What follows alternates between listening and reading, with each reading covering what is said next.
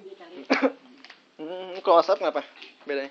kok ngapa sih itu tuh dia itu tuh emang aplikasi ituan buat SMS dan Hmm. bisa aja sekarang dan ntar gue lu ngerti Jadi enggak kagak mahal kali ya? ya, ya kayak itu sih aduh kayak sama itu gituan lu kayak